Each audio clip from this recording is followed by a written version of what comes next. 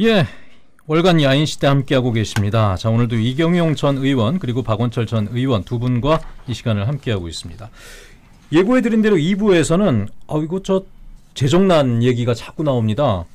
지금 대규모 지방채 발행도 현실화돼서 오늘 뭐 도의회 상임위원을 통과했다라는 소식까지도 들어왔는데 제주를 비롯해서 뭐 전국이 지금 저 재정과 관련해서 빨간불이 들어온 상태거든요. 난리죠. 일단 정부의 내년 예산안 기조는 그 건전 재정, 그러니까 긴축 재정입니다. 사실 보면은. 그래서 이 기조가 맞느냐 틀리냐부터 좀 얘기들이 많이 나오고 있는데 요거는 짧게 두 분의 의견 좀 여쭙고 들어갈 텐데 일단 박원철 의원님은 저기 윤석열 정부 잘못이라고 무조건 할 테니까 네. 예, 이, 어, 의원님부터 좀 먼저 의견 듣고 예. 예, 재정은 뭐 저번에도 한번 언급했었는데 확장 재정하고 긴축 재정이 있습니다. 조금 예. 빨리 할게요. 그래서 확장 재정은 돈을 푸는 정책. 예. 그래서 경제 활성화를 유도하는 장점이 있습니다. 그 단점은 잘못하면 통화량이 증가돼서 물가 상승, 인플레가 그렇죠. 유발되고 경기 불안이 이 오서 오히려 더 증가되는 우려가 문제 생기는 단점을 갖고 있고요. 긴축 재정은 이제 재정 지출을 축소해서 건전 재정이라든가 재정 안정화, 예. 인플레 축소 이런 거에는 기여를 하는데 잘못하게 되면 투자가 줄어들고 고용이 감소되고 수입이 줄어들어서 소비 심리 위축 그래서 경기 침체가 오히려 가중될 근데 우려가 생기죠. 그게 이 시점에 맞느냐 안 맞느냐에 그렇죠. 대한 논란인데 그래서 이 긴축 재정과 확장 재정을 합리적으로 선택해야 되는 문제가 늘 따라다니는데 예. 지금의 경기 침체를 활성화시킬 것이냐 아니면 지방 재정, 중앙 재정의 곳간이 다 비어서 지금 내칠 돈이 없는 상황에서 예, 예. 확장 재정을 하게 되면 나중에 더 큰 위기가 왔을 때 예를 들어서 우리가 이스라엘 전쟁도 예상하지 못했던 상황 아닙니까? 예. 그러면 원유가 200달러까지 가는 상황에 오게 되면 그때는 감당할 수 없는 상황에 음. 오기도 하거든요. 그래서 어 지금은 어 재정 위기, 재정 고갈 때문에 건전 정책으로 가자는 게 현 정부의 입장이죠. 네. 힘들어도 네, 힘들어도. 예, 그렇죠. 네, 네. 자, 어, 박원철 의원님. 의원님 말씀에 전적으로 동의합니다. 전적으로 예. 동의한데 예. 왜 국간이 비었냐에 대한 반성을 먼저 해야죠. 아, 윤석 정부 때문이다. 아 니 깨놓고 얘기하면 예. 지금 어, 어, 우리가 재정이 이렇게 빈 원인에 대해서 반성부터 해야 되고 음. 윤, 윤석열 정, 정부 어, 윤석열 대통령께서 국민이 무조건 옳다 얘기하고 있지만 실질적으로 그렇게 반영되는 건 하나도 없을 것 같고요. 내년 내, 내일이죠. 내일 예, 예. 어뭐 이제 국회에 가서 연설을 하신다고 하는데 어떻게 어떻게 말씀하실지 모르겠지만 원래 어, 세수가 60조 원 덜 거친 이유가 과연 외부 요인이냐 예, 저는 예. 내부 요인이라고 보거든요. 음. 내년도에도 같은 기조를 유지할 것이다라고 하는 게 지금 모든 경제 전문가들이 하는 얘기고요. 얼마 전에 제주도에서 직원들을 상대로 연찬회를 했더라고요. 그런데도 원래 어, 지방 수- 재정 수요만 중앙 중앙교부금만 18조 원이 감액됐다. 내년에도 같은 결, 결과가 될 것이다. 이렇게 얘기를 하고 있더라고요. 그거에 대한 중앙, 중앙정부에 저는 반성이 있어야 된다고 생각을 하고요. 예. 그래서 아까 말씀 주셨던 대로 전국이 난리다. 이를테면 전북 같은 데는 시의원 기초의원, 광역경 국회의원들까지 전부 삭발 투쟁하고 오늘 음. 어떤 의원은 280km 전국 마라톤이라도 해서라도 우리 전국의 예. 상황을 알리겠다 이런 상황들이거든요. 이런 음. 면에서는 통렬한 반성이 있어서 좀 더 어, 법인세라든지 아니면 고소득 자에 대한 어떤 세율에 대해서는 원상복귀만 해라 이렇게 저는 해드리고 싶고요. 예. 우선 제주도 재정과 관련돼서 뭐 지금 쭉 말씀드릴까요? 음, 아니, 저도, 말씀- 저도. 반론, 반론할 기회를 주셔야 돼요. 잠깐만, 그러면 네, 예, 아까 아까 여기까지 일부를 하고. 썼기 때문에 예. 예, 예.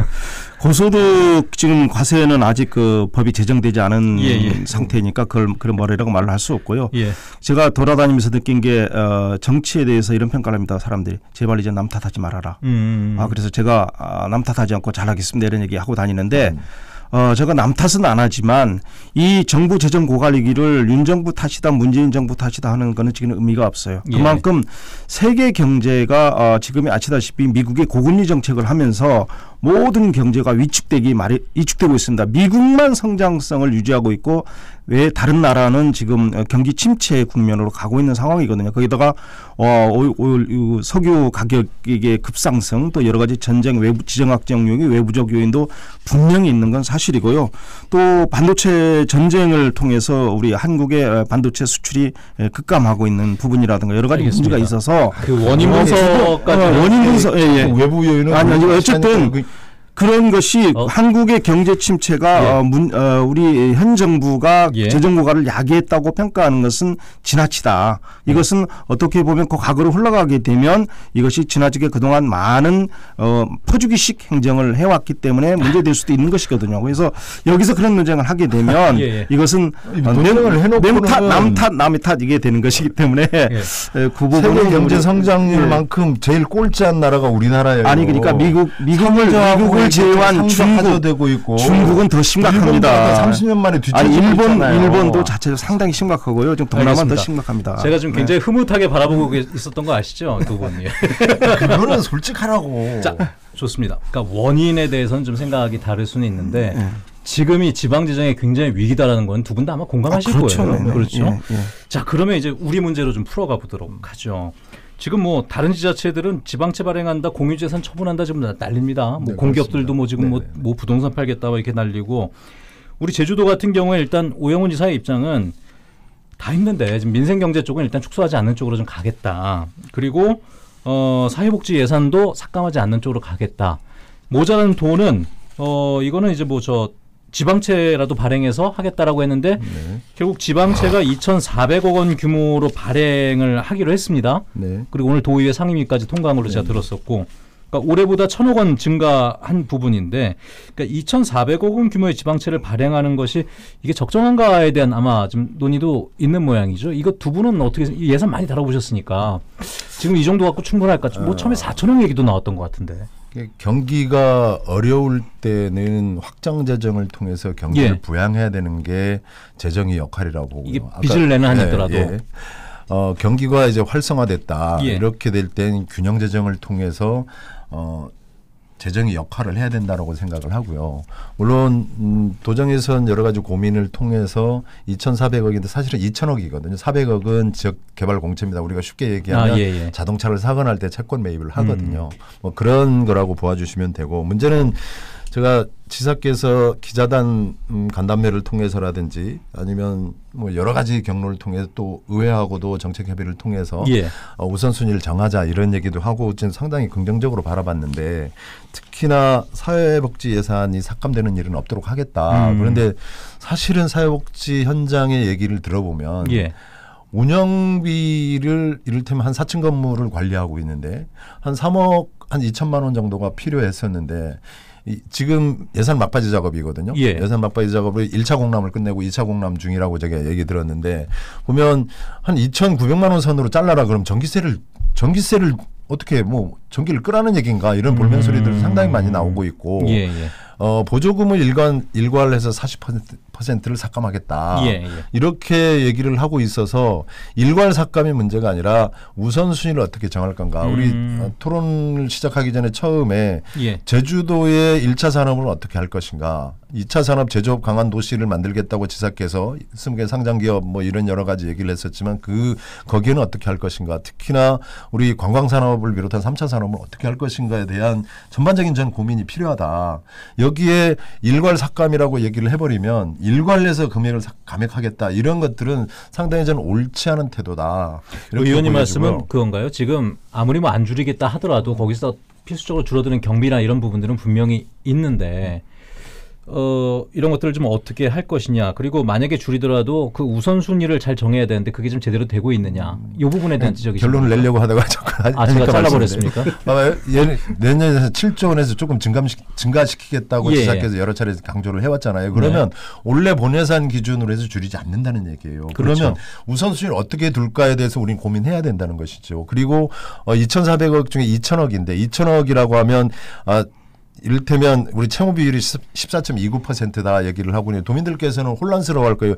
도민 부담이 도대체 어떻게 되는 거냐. 그럼 채무라고 하는 것은 우리가 얘기하는 우리 채무는 지금 지방채하고 BTL 사업하고 어 이걸 포함하는 거거든요. 여기에 예. 경상재원이라고 합니다. 경상재원은 어 우리가 예산안에 7조 원이다라고 얘기를 하면 이 예산이 국가에서 교부금 주는 것도 있을 것이고 보조금 주는 것도 있을 것이란 거죠. 그걸 다 빼, 빼서 경상 순수 경상 예산 지방세, 교부세, 세외 수입 대비 예, 예. 지방채가 얼마인가 이렇게 해서 따지는 거거든요. 그만큼 어, 도민들이 부담이 늘어가는 건데 그러면 도민들에게 아 이런 이런 예산은 불, 불효불급한 예산이 쓰여야 되고 예산을 적수 적수 음. 적재적소에 편성했습니다라는 것들은 도민들에게 충분히 좀 납득할 수 있어야 예. 되겠다. 지금 현장의 얘기를 들어보면 도민 부담은 점점 가중돼 갈 겁니다. 가중돼 갈 수밖에 없고 국비도 줄어드는 상황이기 때문에 그러면 재정 총량을 줄이지 않겠다고 지사께서 언급을 한 만치 거기에 대한 우선순위를 저는 정확히 정해야 되겠다. 그러면 그런 걸 꼭 말씀드리고 싶은 거죠. 알겠습니다.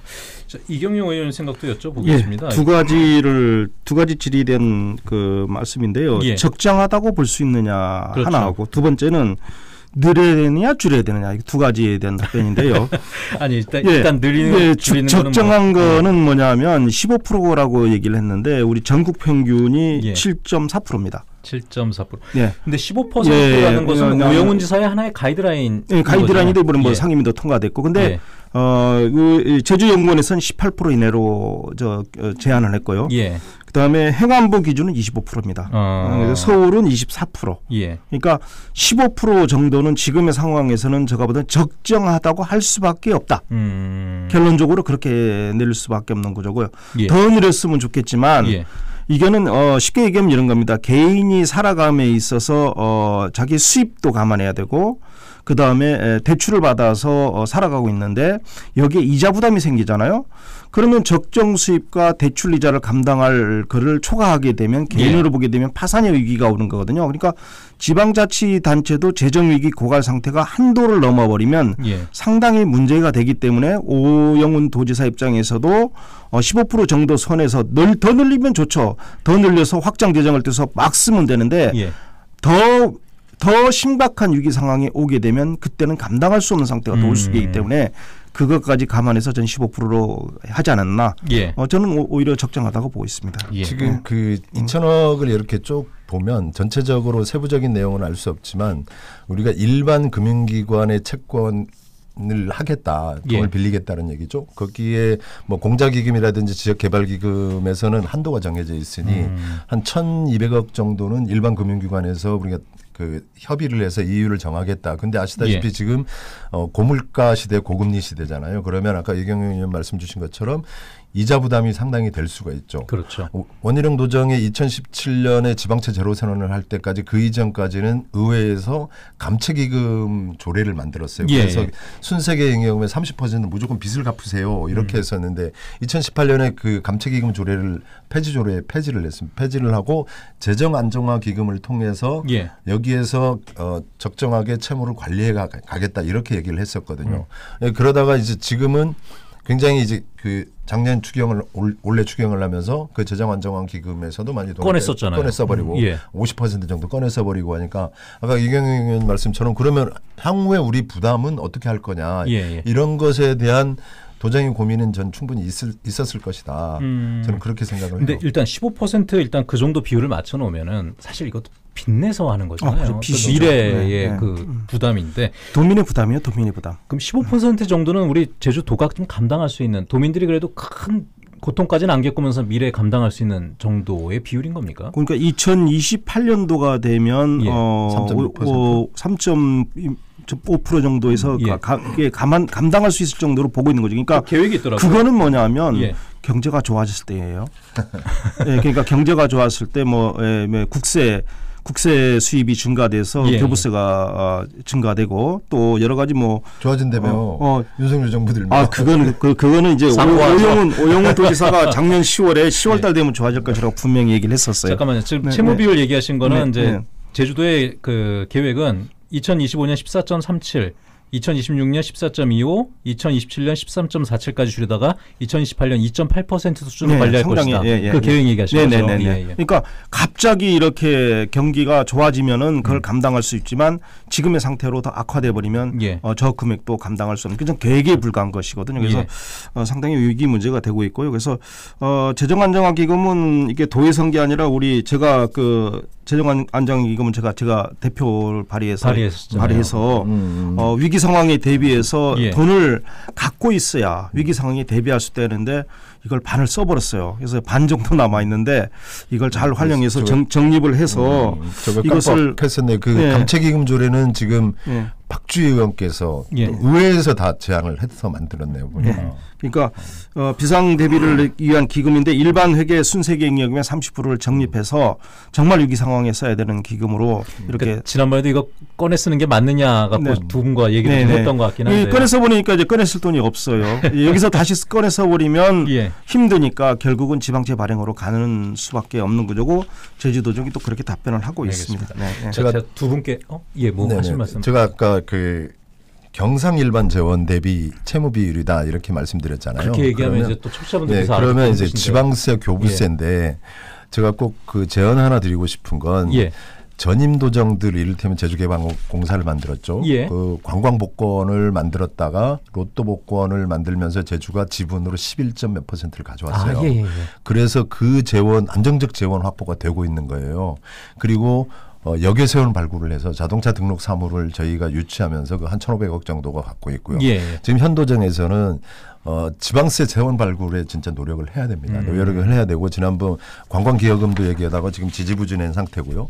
또 상장 기업 20개다고 얘기를 하면서 사실은 어, 수도권 기업, 수도권 외 기업 오게 되면 어, 제주에 지방으로 이전하게 되면 인센티브가 있거든요. 근데 여기에 차별화된 게 없어요. 그러면 오영훈 도정은 정말 이 지방세 세원 확 보를 위해서도 예. 정말 노력을 해야 이 아마 채무 비율도 줄이고 안정적으로 어, 재정 관리도 될 거라고 음. 저는 보거든요. 근데 그런 노력들이 지금 지- 도정에서는 보이지 않아서 좀 안타깝죠. 그걸 재원으로 네. 하고 싶으신 거군요. 오늘 이걸로 마무리하면 좋을 것 같은데 시간 거의 다 돼서 제가 이 지금 예산 기조를 보다가 두 분 생각이 났습니다. 저번에도 한번 두 분이 비슷한 얘기 하신 적이 있는데 그 예산 전쟁이 왜 일어나느냐. 지금 뭐 각종 보조금 40% 삭감 기조 이거 그대로 간다고 쳤을 때 모든 민원들이 그럼 다 이제 또 도의회로 몰려 아마 들어가는 거예요. 당연하죠. 난리 날. 거예요. 네, 난리 도의회는 이거 어떻게 감당해야 됩니까? 예. 그래서 지금 아마도 의원들께서 1차 협의, 예. 지금 2차 협의 11월 3일 법정 의회 예산 제출 기간이잖아요. 예. 지금 아마 3, 4일 동안 뭐 의원님들 정말 이리 뛰고 저리 뛰고 하고 계실 텐데 음. 그럼에도 불구하고 어쨌든 예산 원칙이 어떻게 세워질지 아마 뭐 예산서를 보면 알겠지만 예. 이, 이 지금 지역에 아까 제가 말씀드렸던 대로 사회복지 현장이라든지 여기에 사회복지 예산 줄이지 않- 않겠다고 하는 게 뭐냐 이게 계속 찾아다니고 있거든요. 예, 예. 아마도 이게 정말 지혜를 모아야 될 때라고 저는 봐요. 음. 의원 생각 어떠세요? 이거 상당히 심각한 상황이 온다고 봅니다. 왜냐하면 이제 코로나 상황 이후에 예. 그 모든 행사, 축제, 외유성 경비가 보물처럼 터져 나와서 행사를 했잖아요. 어, 그렇죠. 이미 한 번 맛을 봤어요. 예. 근데 내년에 갔는데 이거를 줄이게 되면 예. 각종 불만과 어, 여러 가지 그 불민 소리들이 나올 수밖에 없는 음. 구조이기 때문에 상당히 공무원들이 어려워지는 상황, 설득해야 예. 되는 입장에 있는 것이고요. 행사성 경비 줄어들고 외유성, 단체 보조금, 사회적 경제 기업 지원금, 육, 육성 지원금 다 줄어들게 되잖아요. 예. 어, 그렇게 되면 이게 상당히 문제가 있는 거라서 어, 정말 자구 노력이 절실히 필요한 상황인데 자구 노력도 쉬, 쉬워 보이진 않아요. 그래서 아까 우리 박은철 전 의원님이 말씀하신 지방세 수입도 늘려야 되는데 늘릴 예. 수 있는 구조가 안 되는 게 지방세란 게 거의 다 정해져 있어요. 그래서 어, 그 부동산 거래 활성화라든가 뭐 여러 가지 법인 소득세 증가 이렇게 되려면 경제가 이제 이게 살아나야 되는데 예. 이게 경제가 쉽게 살아나지 않고 부동산은 이제 고금리 정책 때문에 거래가 안 되면 거기에 따르는 취득세가 발생이 안 돼서 제가 법무사다 보니까 아 이게 거래수가 이렇게 급감되면 우리 서귀포시 제주도의 재정은 어떻게 되지 이런 생각이 많이 들거든요. 그래서 그만큼 거래가 없으면 세금이 거치질 않는 거예요. 그러니까 중앙정부 제가 중앙정부에 갈 수 있는 입장이 된다면 예. 이 부분을 확실하게 고쳐 나가야 돼요.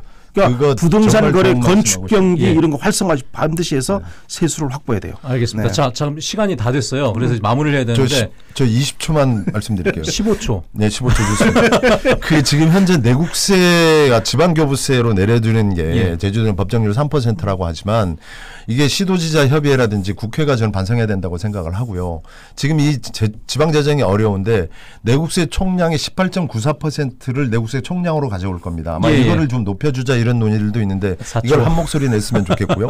다른 하나는 네, 지난 지- 지난 먹어야 도정 됩니다. 얘기하면 보조율 지침이라는 걸 엄격하게 자, 적용을 이제. 진짜 마무리하겠습니다. 네, 그래서 도정과 의정이 두분제 오늘 즐거웠습니다. 저희 네, 다음 달에 뵙도록. 하죠. 고맙습니다. 네, 감사합니다.